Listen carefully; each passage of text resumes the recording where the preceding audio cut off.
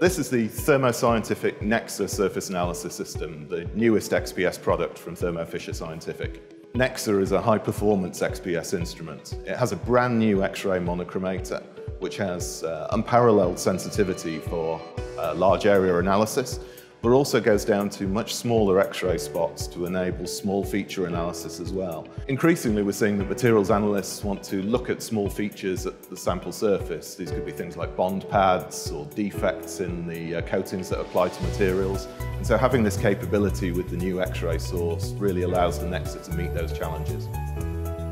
With Nexsa, we've been able to integrate other key surface analysis techniques onto the system. With these capabilities, we're able to investigate other surface properties that XPS alone cannot look at. XPS, of course, gives you uh, composition uh, and chemical bonding information. REELS, which gives you band gap information, for example. ISS, which can give you information from the top monolayer and give you a coverage analysis. And another technique we're very excited about is having a combination of Raman on there, which can give you vibrational structural information complementary to XPS. With Nexsa, we also have a vacuum transfer module. This can be loaded with samples inside a glove box and then transported directly into the system without exposure to air. Like all our surface analysis instruments, Nexsa runs on Avantage, software package that controls all vacuum operations, data acquisition, data processing, and outputting the data into reports. Avantage has many features to enable you to get from your samples to data and results quickly. It has the capability to automatically process the scan that starts most analyses, the survey scan, to identify which elements are present and lead on to what you need to do next to understand the chemical states in the sample.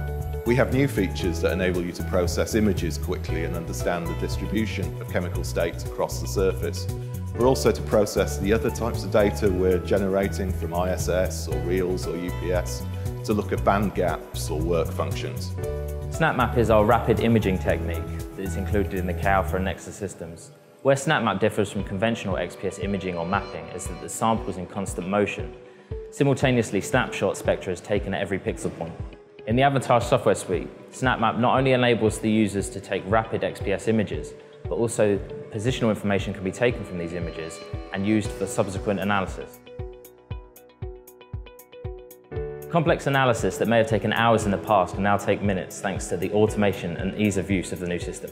With Nexsa, scientists are going to be able to acquire data much more quickly, more, with more precision, more reliably, uh, give you higher throughput, and they're also going to be able to do a much more comprehensive analysis on a, during a single experimental run.